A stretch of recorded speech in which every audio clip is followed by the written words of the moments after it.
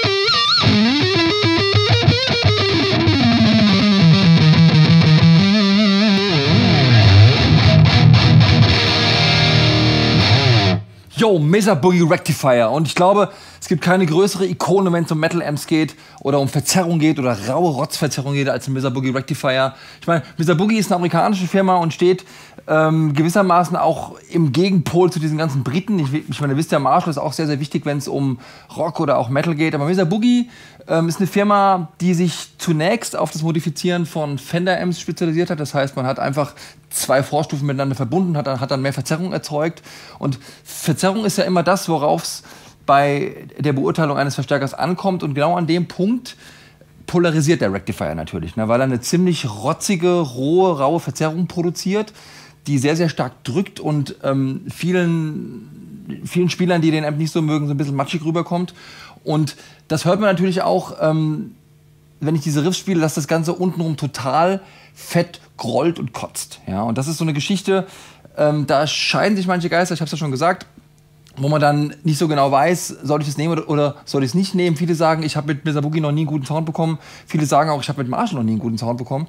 Insofern rate ich euch natürlich in dem Fall, probiert es aus und schaut, was euch anmacht oder was, was ihr geil findet und dann landet ihr auch dabei. Ja? Ich meine, dieser Rectifier sieht man wirklich auf allen Bühnen, wenn es um Metal geht oder wenn es um Verzerrung geht oder in jedem Studiereport steht irgendwo in der Ecke doch noch ein Dual oder ein Triple, auch wenn noch ein Ecstasy oder ein Diesel VA4 oder ein, oder ein, oder ein Herbert irgendwo in der Nähe stehen. Slipknot, Metallica, Korn, ich meine Alter Bridge. Ich meine, auch die ganzen Sachen von Tool sind auch sehr viel mit Rectifier gespielt. Ihr müsst mal horchen, man kann Rectifier auch erkennen, weil ähm, ein Rectifier klingt vom Druck her abgeblockt ähnlich wie offen. Ja, das ist auch das, was ihn wirklich von so einem, von so einem schlanken Marshall unterscheidet. Das heißt, wenn ich, wenn ich die Seiten abblocke, habe ich bei einem britischen Amp so ein, so ein Pumpen, dass ich so dicke Backen bekomme, dieses Bup, Bup, ja. Und wenn ich, die, wenn ich die Seiten offen spiele, dann wirkt das Ganze schlanker. Beim Rectifier drückt es eigentlich die ganze Zeit. Ja. Und deswegen wird das Ding auch so gern genommen, weil er einfach einen ähm, mörderischen Druck erzeugt, den man für bestimmte Musikstile haben will. Ja. Ich habe jetzt in dem Fall mal einen Dual Rectifier ausgegraben, ist die äh, überarbeitete Version, hat einen besseren Clean-Kanal, ähm, hat abgestimmte High-Gain-Kanäle, das heißt also der zweite und der dritte sind näher beisammen, das heißt man kann die gut nehmen für Rhythmus und für Solo, zeige ich euch nachher noch ein bisschen.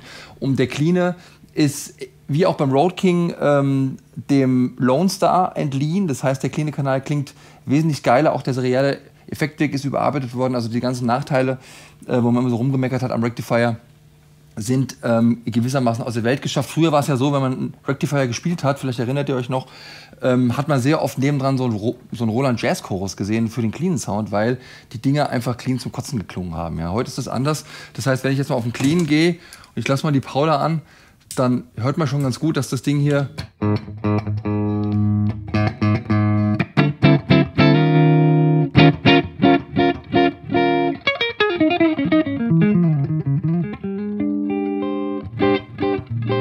glitzert, ja, wenn ich mal auf die Zwischenposition gehe.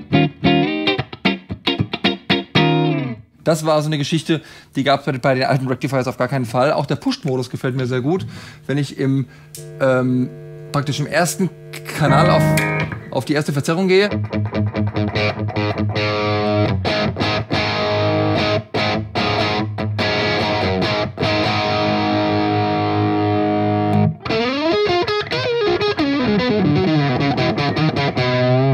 Gehen wir ein bisschen runter mit der Vorstufe. Bisschen mehr ins Master rein. Wird ein bisschen dicker noch. Ja.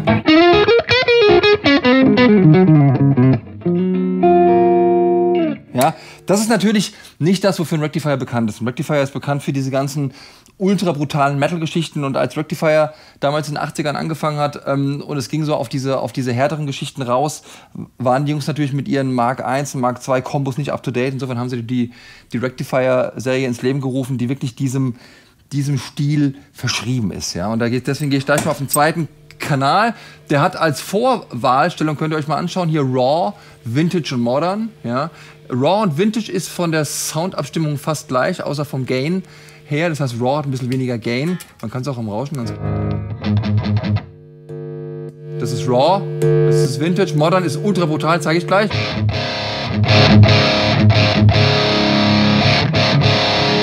Da hört man schon ein bisschen diese Rauheit.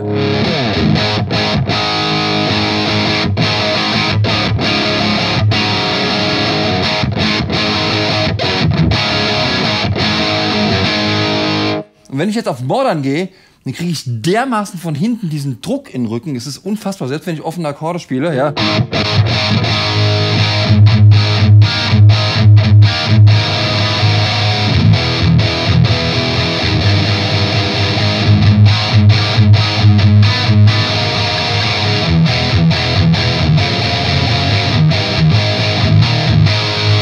Ja, und es ist natürlich eine Geschichte, Rectifiers werden gerne äh, mit Gitarren gespielt, die mit EMG-Pickups ausgestattet sind, aus bestimmtem Grund. Ne, ihr könnt euch mal durchlesen durch die Foren. Ähm, viele boosten ihre Rectifiers gerne mit einem Maxon 808 oder mit irgendeinem Overdrive, der den Sound der Gitarre etwas verschlankt. Ja? Und ich sag's ja immer, ähm, wenn man es von mir hören will, aber vielleicht auch jetzt, EMG-Pickups machen den Sound einer Gitarre etwas dünner. Und das ist meistens nicht so toll, manchmal aber gerade gewollt. Und vor allen Dingen dann, wenn der Verstärker arg suppt. Ja. Und Mr. Boogie ist natürlich in dem Fall sehr bekannt für diese dicke Suppe, die man fast schneiden kann. Ja. Und mit, ähm, mit einer Gitarre, die durch ein Verzerrerpedal geboostet wird oder auch durch EMGs verschlankt wird, lässt sich diese Suppe leichter durchschneiden. Das heißt, die Gitarre ist besser zu hören, die Anschläge sind besser da. Jetzt kann ich das mal direkt zeigen.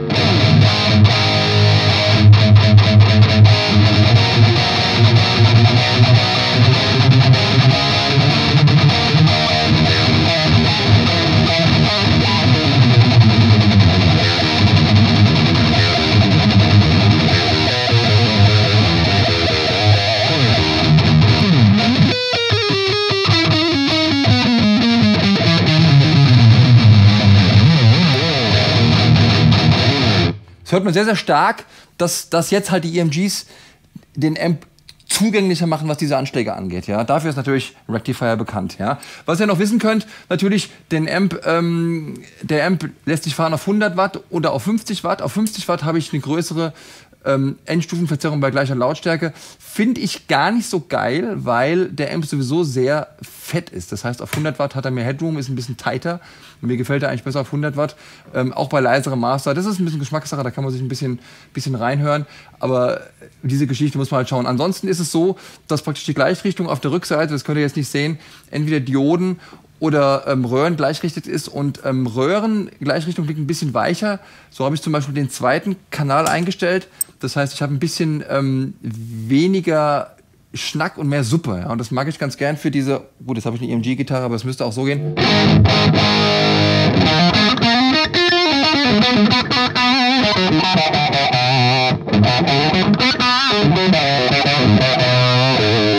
Es ist weicher als die Dioden Gleichrichtung auf dem dritten Kanal, ja.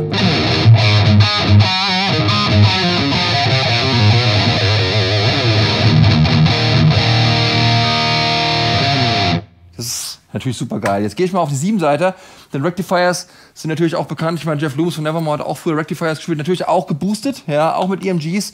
Ist immer die Frage, was man für eine Musik macht. Wie gesagt, ich meine, Rectifiers sieht man auch im Punkrock oder sowas. Und da müsst ihr mal gucken, wenn die Jungs sehr, sehr viel offen straddeln, weil es eben so krass drückt.